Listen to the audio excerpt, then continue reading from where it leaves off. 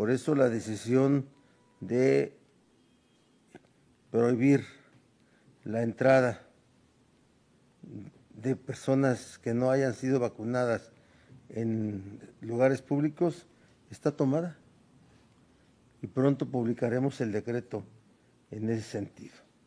Respecto del otro,